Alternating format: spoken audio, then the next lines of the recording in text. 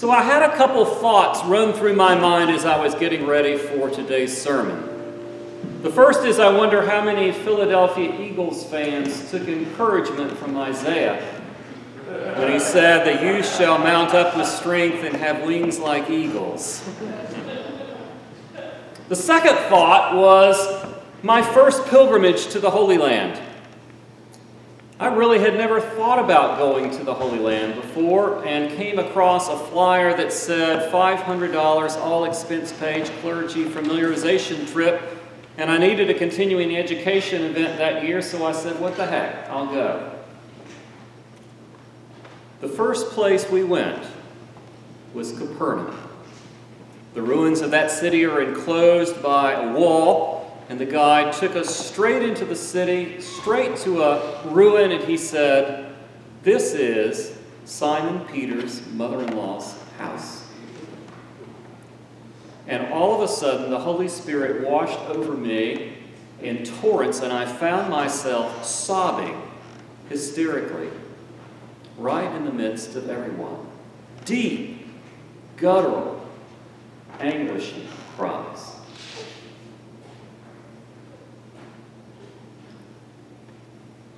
I don't know if you noticed in the gospel that Simon Peter's mother in law's house meant that Simon Peter had to be married.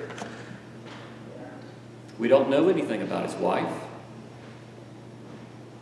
I also wonder if you noticed that Jesus, after he healed in that house that was just about a half a old town city block from the synagogue, after he healed all that evening and night, he went away to a lonely place.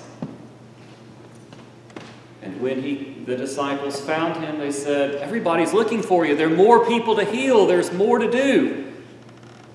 Jesus says, No, we're going to move on to the next town. What about the people that were left behind? You see, Jesus was a witness a witness to God's power and God's plan. And the word witness in Greek is martyrion, from where we get the word martyr. Christians are called to be martyrs. Some Christians throughout history have offered their life up for the faith, and so we understand that use of the word martyr. But every Christian person is called to be a witness to God's power, to God's direction, to God's calling. And sometimes that's seen in very different ways. As I reflected on Martyr, I thought of the life of Barry Logsdon. For those of you who did not know Barry, he was a family court judge in Newport News and died after a six month battle with cancer. Barry was a passionate advocate, witness for our Lord Jesus Christ. And he prayed for this parish for decades. He was the first person I met and talked to when I arrived to begin my tenure. I was actually filling my gas up in the car in Midtown, and my cell phone rings with a 757 number, and I thought, well, somebody from Portsmouth must be trying to get me the day before we start. So I answered the phone, and he said, Derek, it's Barry. You don't know me, but I've been praying for you for months. That was the way he was exuberant, passionate, loving, prayerful. And when he became sick, his role of martyr became even stronger. Usually, you think of someone who eventually is dying of cancer having everyone put their focus on him. What do you need? How can I help you? How can I serve? But everywhere Barry went, and everywhere Barry laid in bed, he blessed others. In the hospital, he prayed for the nurses that came and ministered to him. He blessed those who mopped the floor. Everyone wanted to go to Barry's room because he was the man that had God's presence and God's passion and God's love. Amazing, transformative things happened while he was in the hospital. The last time he was here at St. John's Church was on December 27th, our feast day, the feast of St. John. He showed up unannounced a month before he died to help bless the chairs in the chancel, to celebrate with us, to have prayers of healing for him at the altar rail. Before he left, he hugged and blessed and asked God's favor on me, on Clifford, on everyone who was there that night.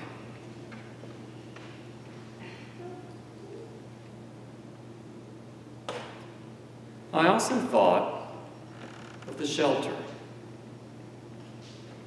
St. John's Church is an incredible witness to God's love in Shelter Week, and we have Nancy Johnson and Claudia Tomlin to thank for the incredible leadership and organization they provide. All those bodies, all those people, seen and unseen, more than we had guests every night, cooking and cleaning and planning and picking up and logistics and all of that to make it seem so effortless was an incredible blessing.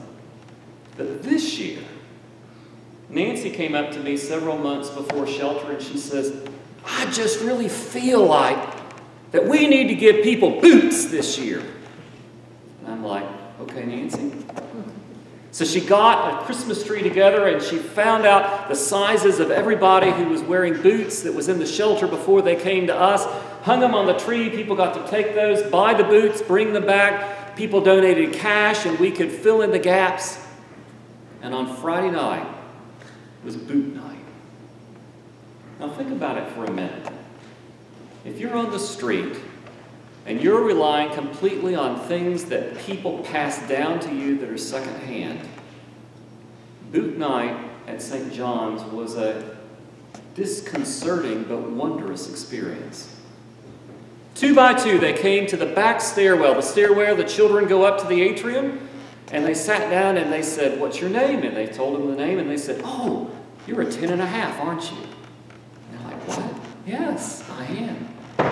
And then the person said, Oh, we have some choices for you. You can get tan, you have dark brown, you have black, or you have low cut. Which would you like?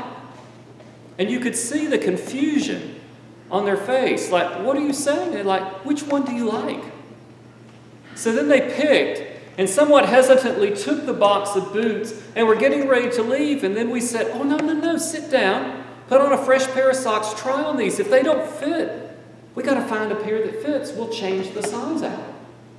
And so, with bewilderment, they're just sitting here in awe, pulling out all the tissue and the packaging out of the boots. You can smell the fragrance of the freshness and the newness, and they're just absolutely overwhelmed with excitement.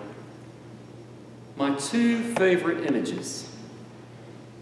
One woman, upon opening the box, squealed with delight, Oh, there's fur on the top! I've always wanted fur! And the second, a man coming back from getting his jacket and some other clothing that he found, had discarded his previous boots, I'm not sure where they went, had on his new boots, came walking down the hall. Everybody, get out of my way. I have new boots on and I don't want any scuff marks on them. witness, listening to the Spirit of God, and following where it leads. I don't know why some people get sick and aren't healed, and other people who get sick are. I don't know why some people end up homeless and other people never experience that misfortune. I don't know why some people always seem to sail through life without a problem in the world, and other people just seem to have trouble follow them wherever they go. But no matter our circumstance, no matter who we are, no matter what circumstance we find ourselves in, you and I are called to be martyrs, to be witnesses, to listen to the Spirit of God as Jesus did, to go where He sends us, to do what He asks us to do, in sickness and in health, for as long as we shall live. For you and I are part of God's transformation of the world. We have no idea what He's up to. But if we listen, we will change the world forever.